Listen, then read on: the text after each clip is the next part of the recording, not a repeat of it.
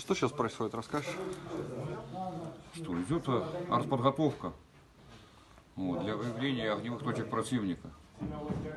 Ну и для уничтожения их полностью на первой линии обороны. Они вот именно отсюда по Донецку стреляют. Техника их отсюда выходит по Донецку стреляет.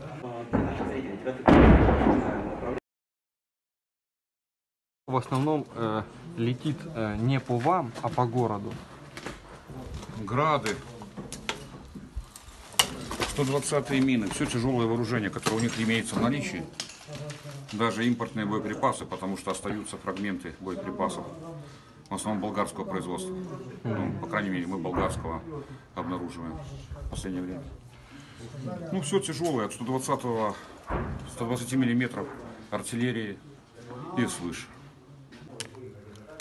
Перед нами поселок Пески.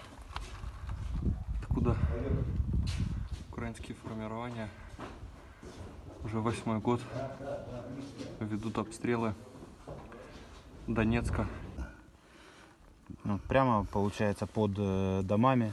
Под домами, под домами у них укрепления хорошие.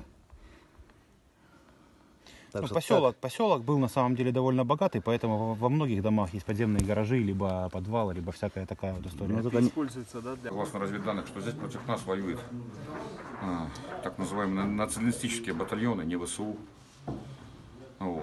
По поводу присутствия у них наемников, конечно, они и сами в своих средствах массовой информации официально признают, что они работают с наемниками. То есть работают наемники-снайпера, работают наемники диверсионно-разведывательные группы их.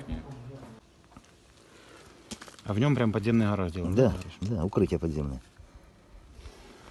Ну и тоже видно, вот получается, прямо под здание подходят окопы. Целая такая нормальная линия, вот обратите Ну, внимание. конечно, конечно. Прямо от дома к другому строению, Да, а к да. дому подходит окоп выше, прям переходной ход такой длиннющий-длиннющий он. Прям по всей, ну, вот прям по всей, по всему окопу. Ага.